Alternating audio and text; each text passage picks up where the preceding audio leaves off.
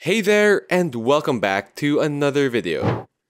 Today I'll be going over Leonardo AI's Canvas 2.0 update. This is a major step up for the Canvas tool in general for Leonardo AI. It's crazy how many great features this has, so let's go over them in this video. So if I go to my personal feed, I can actually find an existing image of mine like this one. We can click on the three dots and go straight into Edit and Canvas.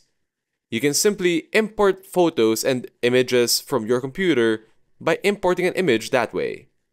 Let's start with the basics with working for an image. I can either choose one for the community or actually just choose one of my older generations or even upload from my computer. So I'm going to go with the selections.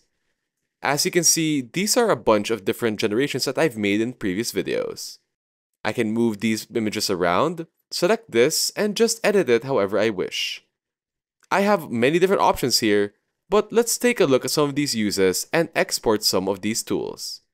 I can take this image, move it around, size it down, zoom it back in, etc.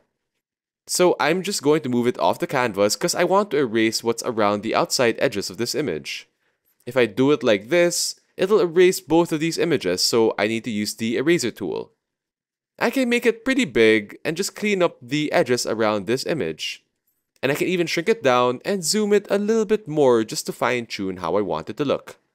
Then I can just erase the background and get the AI to fill it in or even mask the background itself. So instead of removing all of these things, the AI algorithm will just adjust. So I can just use this to select the area and then hit generate. As you can see, it fills in automatically and we can blend images together this way. You can also feel free to redo and continue to undo all changes you make while editing these images. I can still click, unlock, move it around, and even hit accept or cancel once I'm happy with the changes. I can even remove some of the mask by clicking on these areas, hitting the delete button, and we can start again from scratch. So let's try selecting a bit of area here, grab my eraser tool and just remove a chunk of this. I've got Dreamshaper turned on pretty high here, and my inpaint strength all the way up to 1. Then let's try typing in something like Mythical Temple and hit generate. And wow, it'll actually pop a temple right there where we've selected. Which is a really cool feature as well. Now, another cool feature about Canvas 2.0 though is its ability to get rid of everything. So there's Canvas mode and let's check it out.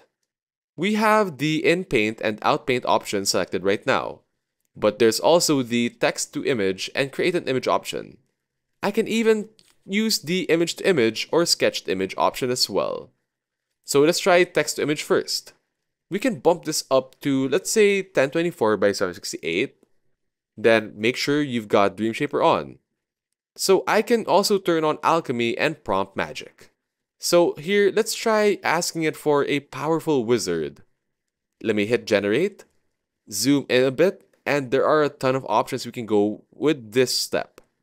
So we've been able to generate this image beautifully.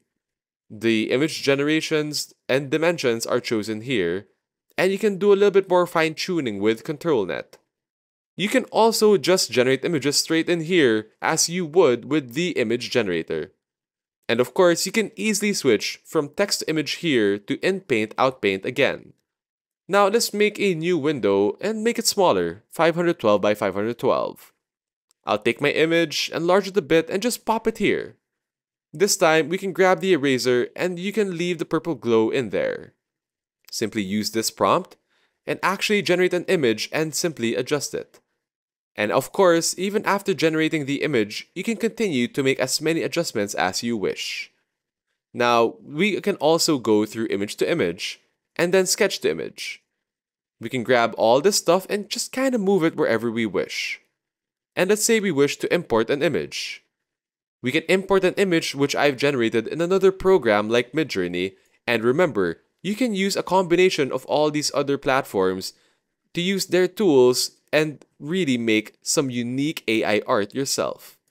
And now let's also check out sketch to image.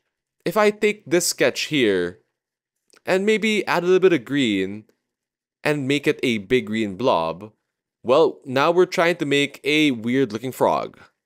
It's a pretty craps frog, but because I have sketched image on, I'm going to see what results we get from this crappy sketch. It's pretty interesting how we can use a sketched image option instead of just text prompts or image uploads. Let's go to automatic masking now, override defaults and just leave it at whatever, and make sure we still got Dream Shaper selected. And then now click generate. So if we see that we've typed frog, it actually popped a frog where, where I've drawn it. The It kind of fixed the pose a bit more, but the frog is looking a little bit messed up. Remember, you don't have to stick with this result, and you can experiment as much as you want to. So let's move and edit our Dreamshaper settings and zoom out a little bit. We can select custom models and look, look for some cute characters. We can generate that with this model, and now we can make even more cartoony stylized images. Also, if you choose to import an image, where you can upload an image from your computer, I've got this photo here. I can move it away and change my viewport to over the face. You can play with a lot of these facial features and do all these sketches yet again. I can draw a mustache and a little bit of facial hair here, which looks pretty ordinary. And if we type in the prompt facial hair, we can change this image from this into uh, something else. Now remember, we're going to be using stable Diffusion XL.9 to generate this model. So you can see it's generated some nice looking images from our sketch. We can stick with this or feel free to experiment as much as you wish. And you can even type other prompts here to see what we can come up with. Remember, feel free to just sketch and type in any prompt you wish to experiment and see how the algorithm program will affect your prompts and images. It can be a very powerful feature to play with and a lot of fun when making your images. Now, let's also try image to image. We can simply generate a certain prompt like here, hit generate, and as you can see, it has referenced the original image as a layout for the new image that to be generated. And it's not too bad, really. It's a weird state, but you get the idea of using these image to image, sketch to image, etc. options. So remember, if you wish to use ControlNet as well, make sure to clear your canvas completely, and use a model that works with Stable Diffusion 1.5. Remember, Dreamshaper version 7 can do that. You can also check by going to your home page and check under fine-tune models. You can check and open up a model, show you the base model, and make sure it has to be version 1.5 to work with stable Diffusion 1.5. Remember, you have to keep Alchemy turned off since Alchemy will disable that option. Here, you can also see post image, which will replicate a pose into another image or edged image. What the AI will do, it'll try to detect the edges of an image and recreate within those edges.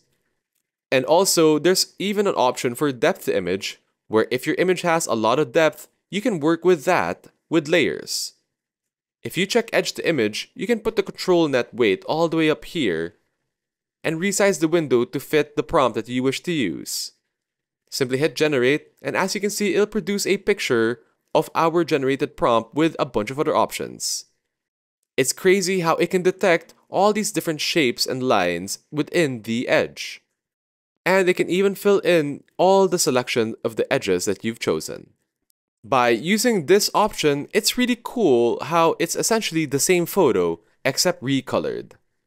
Now, we've covered a lot of ground here with using image to image, depth to image, and edge-to-image options for editing our AI-generated images on Leonardo AI 2.0.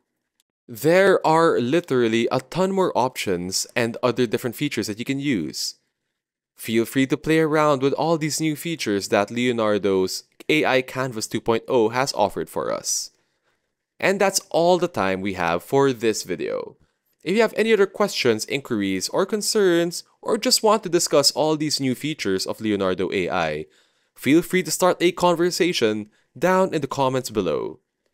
As always, like this video and subscribe to the channel for more content just like this one. Thank you so much again for watching and we'll see you guys in the next one.